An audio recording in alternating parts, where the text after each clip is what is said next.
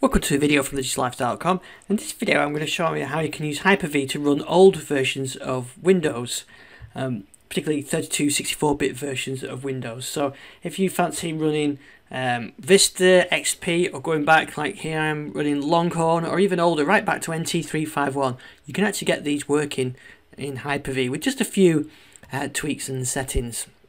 Uh, so the first thing you've got to do is make sure you've got Hyper-V uh, up and running um, you can actually turn that on and off through Windows features. You need to have Windows uh, 10 Professional or Enterprise to have this, but I'll show you where the setting is. Here you see the setting. I've just uh, turned on Windows features. You can just search for that for the start menu, and um, you make sure you've got these two box boxes on.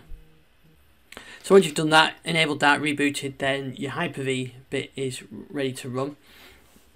And so the next step is actually creating your virtual machines. Okay, so let's create a virtual machine and we'll give this a test. Uh, what I'm going to do is uh, use Windows 2000. I've got a Windows 2000 ISO file which I'll use and there's a few steps we've got to take. Most of it's pretty much standard Hyper-V server.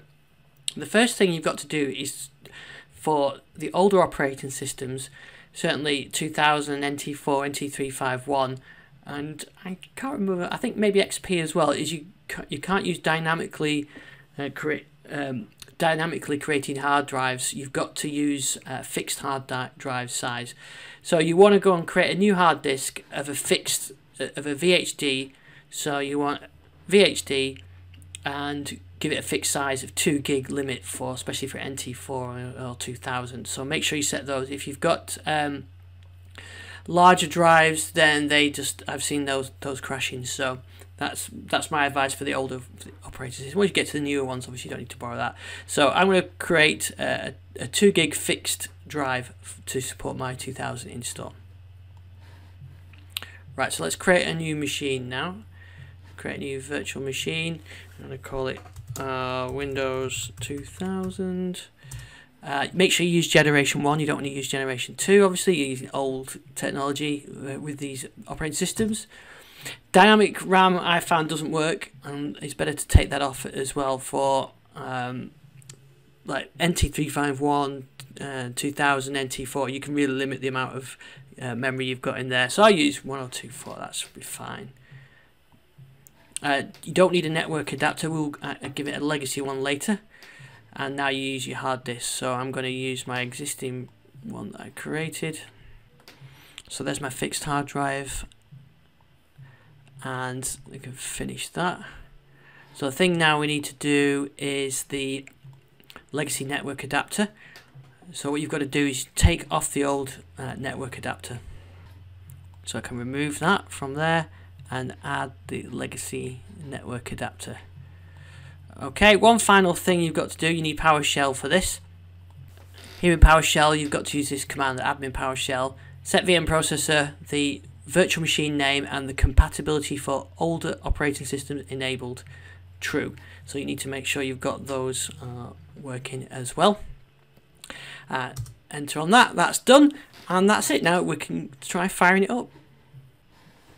Now, one other thing we need to do, obviously, is to give it the boot media um, which I didn't do before. So my first job now is to tell it which device or what we're booting from.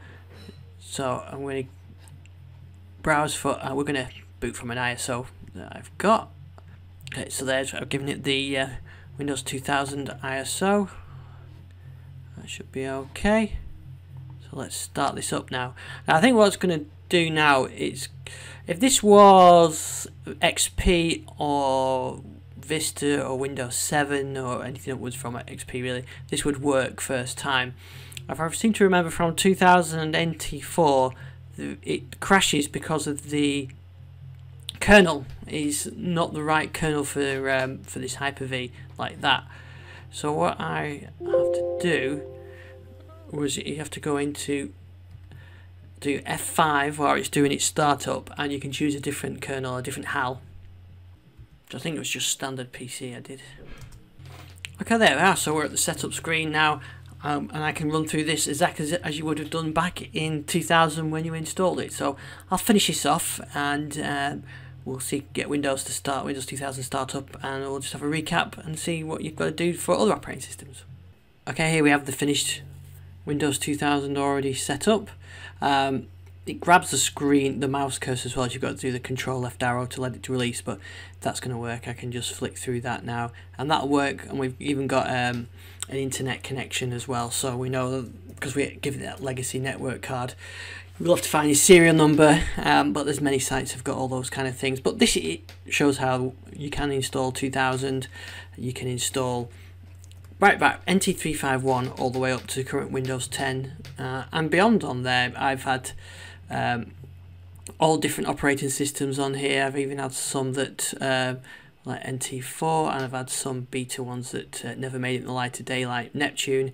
And in fact, I've got a video on the thislife.com. You can see where I did Windows uh, NT351 and upgraded it to NT4 to 2000 to XP to Vista to Windows 7 and all the way up to Windows 10 as well. So have a look at that. So hopefully that helps you getting uh, old operating systems running on Hyper-V.